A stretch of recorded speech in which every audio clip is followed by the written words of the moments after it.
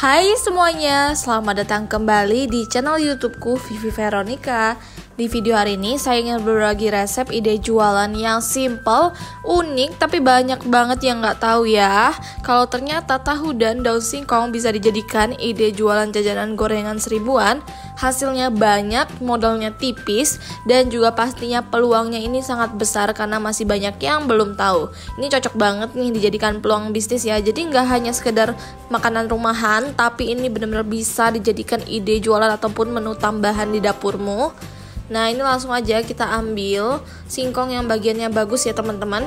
Ini udah kita petik. Ini saya pakai kurang lebih dua ikat besar. Teman-teman boleh pakai lebih banyak. Kemudian cuci bersih dan sisihkan. Kemudian kita rebus air hingga mendidih. Setelah itu masukkan daun singkong yang udah kita petik-petik tadi dan sudah dicuci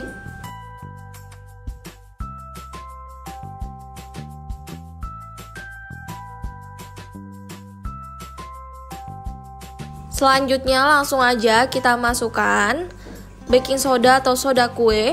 Soda kuenya ini kita masukkan secukupnya kurang lebih 1 sendok teh atau sesuai selera. Kemudian tambahkan garam sebanyak 1 sendok makan. Tujuan kita pakai kedua bahan ini supaya lunak dan tidak pahit ya, tidak ada rasa getirnya lagi nanti.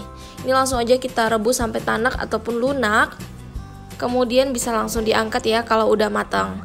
Jangan lupa kita peras sampai benar-benar kering karena air rebusannya ini pahit banget ya teman-teman. Jadi saran saya diperas benar-benar sampai kering ya.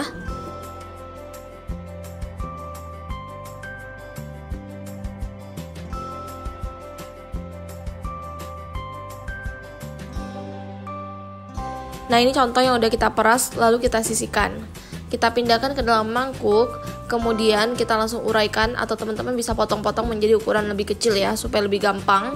Kemudian kita siapkan 3 sampai 4 kotak tahu putih. Kemudian hancurkan menggunakan garpu dan tinggal kita campurkan aja kedua bahan ini.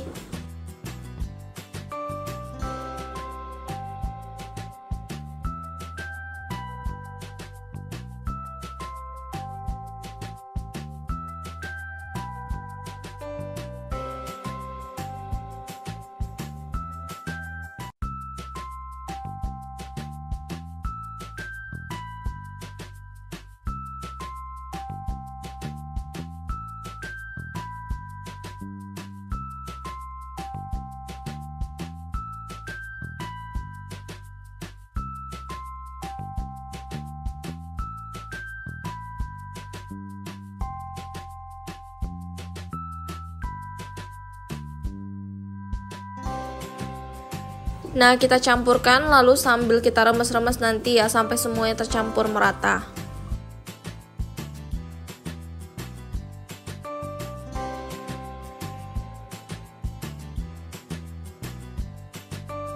Jangan sampai tangan kita masih kotor ya, jadi harus dicuci bersih.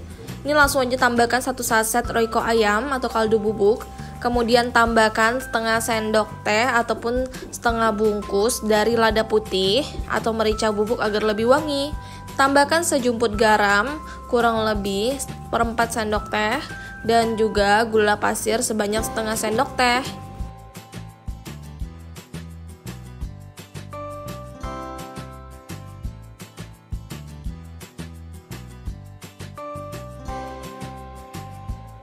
Lanjut kita aduk-aduk semua bahan menjadi satu.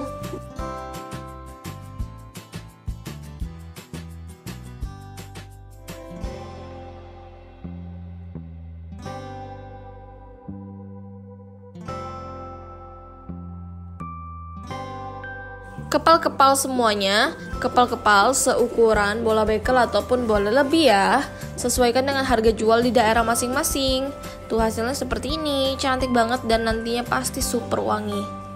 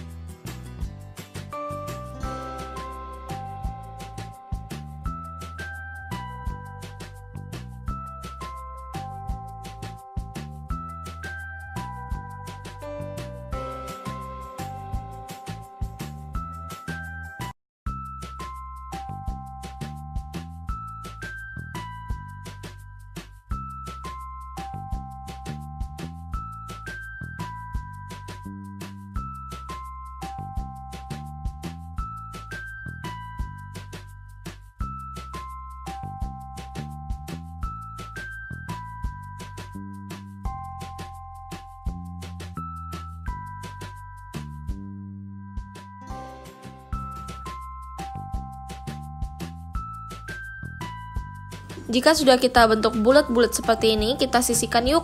Sekarang kita buat dulu bahan balurannya. Buat dari 10 sendok makan terigu ataupun 100 gram. Kemudian tinggal ditambahkan dengan royco ayam secukupnya dan juga kaldu bubuk secukupnya. Ini langsung aja bisa dicampur dengan air sampai kekentalan sedang. Saran saya agak kental ya, karena nanti untuk membalutkan si tahu dan juga singkongnya ini. Jadi nama cemilan ini adalah rolade tahu singkong ya. Jangan lupa masukin bawang putih kalau suka. Di sini saya pakai lada putih ya teman-teman supaya lebih wangi atau merica bubuk sebanyak setengah sendok teh. Aduk-aduk semua bahan menjadi satu dan tinggal ditambahkan air hingga mengental.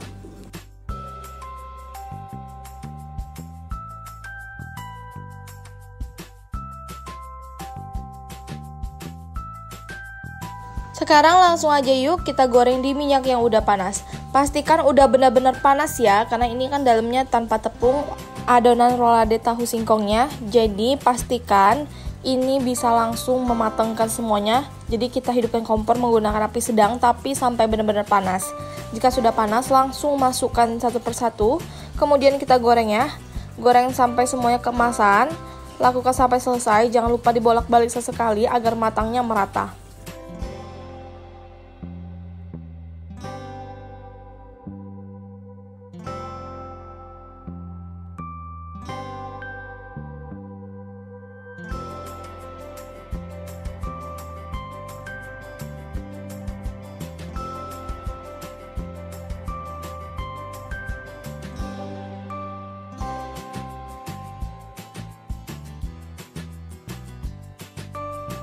Setelah sudah cukup matang, langsung aja yuk kita angkat dan juga tiriskan.